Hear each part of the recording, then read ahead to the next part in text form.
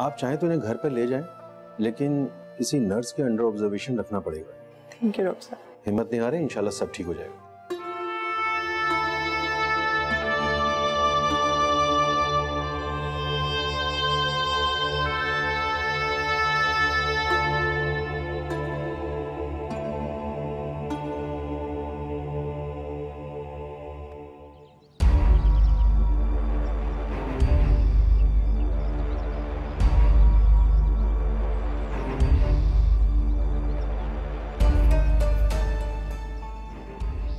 पागल वागल तो नहीं हो गया।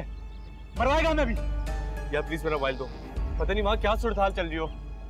मम्मी पापा किस हाल में हो? एटलीस्ट मुझे ये तो बताने दो कि मैं बिल्कुल ठीक हूँ। मेरे पास ऐसी खबर है तो तेरे होश उड़ा देगी क्या मतलब? बे मतलब मतलब छोड़।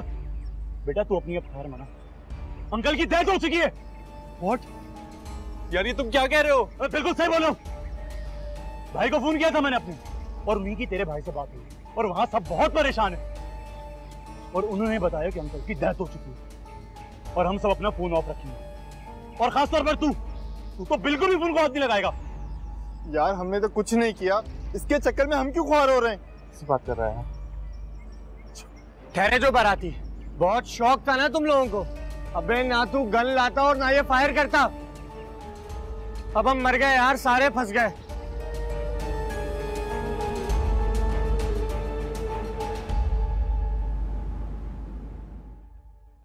इतने अरसे से आप हमारे घर के सामने रह रहे हैं, लेकिन कभी मुलाकात नहीं हुई।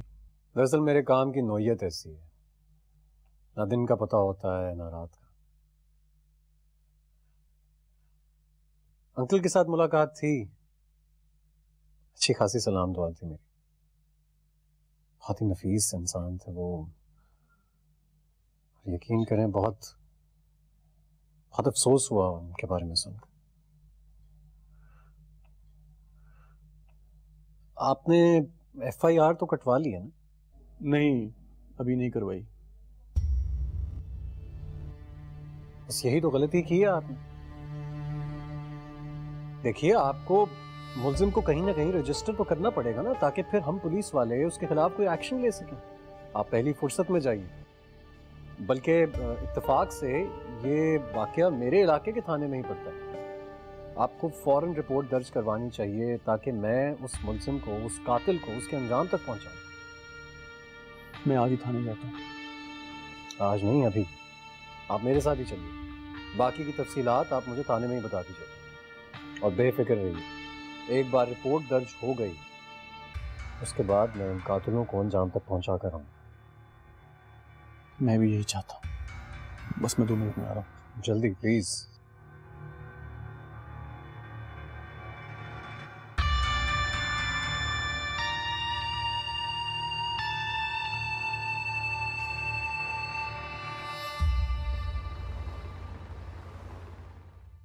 अच्छी बात यह है कि आपके केस की एफआईआर तो पहले से ही दर्ज है।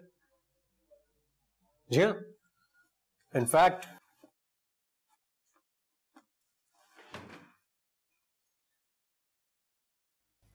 आलाय कत्ल। मौका वारदात से बरामद किया गया। मेरा बस चले तो मैं इसी गन से उसके जिस्म को छलनी छलनी कर दूँ। भाई साहब प्लीज़ मेरे बाबा जान का कातिल जल्दी से जल्दी मेरे सामने लाए। मुझे जब ही चैन आएगा, जब उसको सजा मिलेगी।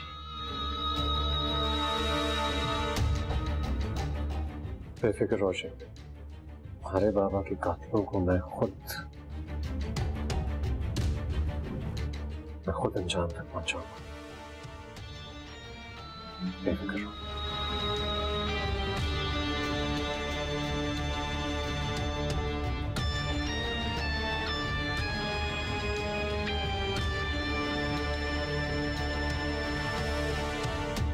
अबू पुलिस आ गई है घर तक। लगता है शेर दिल भाई का गुस्सा ठंडा नहीं हुआ। रिपोर्ट जो दर्ज कर दिया थाने में।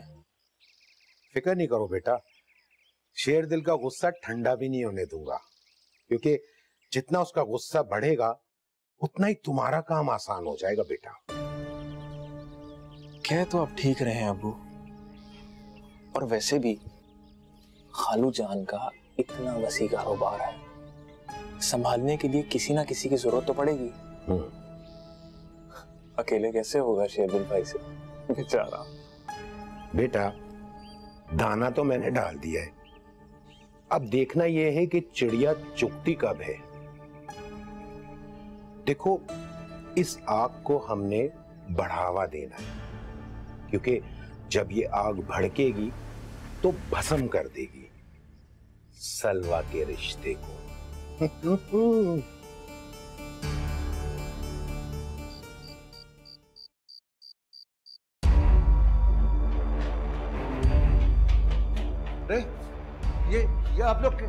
क्या कर रहे हैं? कैसे घुस आए अंदर? हमारे पास सर्च वारंट है घर का घर की तलाशी लो अच्छी तरीके से ढूंढो उसे। रोड पर जाओ। सामने जाओ तो अरे क्या हो रहा पापा? अरे आप भाई आप मुझे तफसील से बताएँगे कि हुआ क्या है? अभी सब पता चल जाएगा। थोड़ा इंतज़ार करें।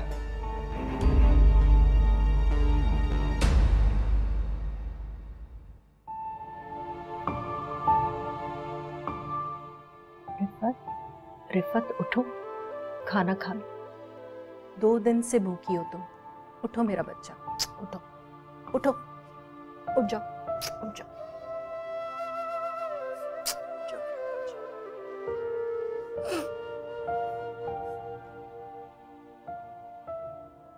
मैं जानती हूँ काम बहुत बड़ा है। भाई साहब जैसा शोहर तो किस्मत वालों को मिलता है। कितना ख्याल करते थे तुम्हारा। बस अल्लाह की यही मर्ज़ी थी। हौसला करो।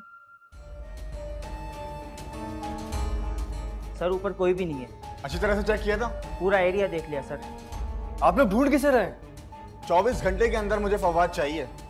याद रखना 24 घंटे हैं तुम्हारे पास। अरे हम तो खुद उसे ढूंढ रहे हैं। हमारा रब्ता ही नहीं हुआ उसे। और जैसे ही इससे राब्ता हो ना फवाद से सीधा मुझे थाने में इतला करवाइएगा।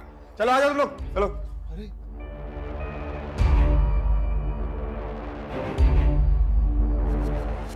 जाने वालों के साथ जा तो नहीं सकते ना?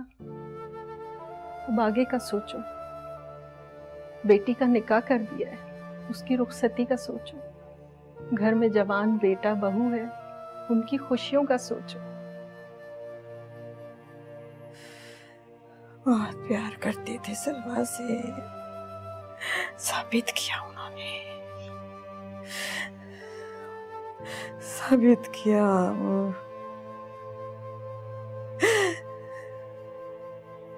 इतना।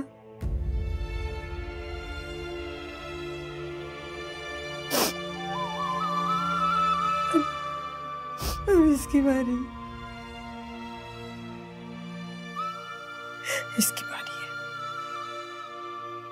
क्या बोल रही हो? नहीं बस। अब इसकी बारी है इसे इसे बताना होगा बताना होगा इसे इसे भी करना पड़ेगा साबित इसे भी करना पड़ेगा। इसे भी बताना पड़ेगा। हाँ इसे बताना पड़ेगा। बताना पड़ेगा इसे। लगता है रिफ़त अभी तक उसी कैफियत में है। ये इसके लिए ठीक नहीं है। अल्लाह जाने क्या ऑल फॉल बोले जा रही है।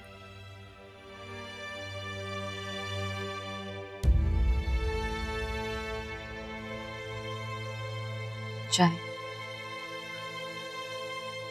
मम्मी ने खाना खाया? हम्म। खाला लेकर गई हैं। और सलवा ने? हम ना है उसके पास। और वैसे भी सलवा बच्ची नहीं खा लेगी। एक बात तो बताएँ आप अजमीर की फैमिली से पहले मिले हैं? आई मीन रिश्ता तय होने से पहले। नहीं। हम्म।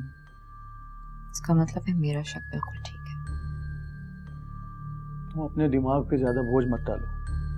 और सो जाओ।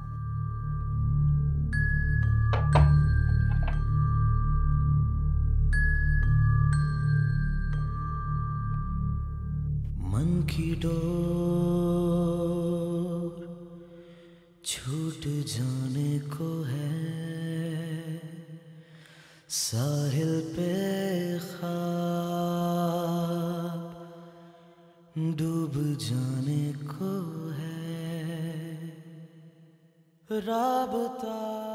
ये सब क्या हो गया?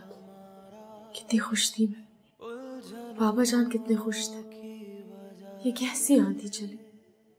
सब उड़ा कर ले गई मेरी खुशियाँ, मेरी मोहब्बत, मेरा प्यार, सब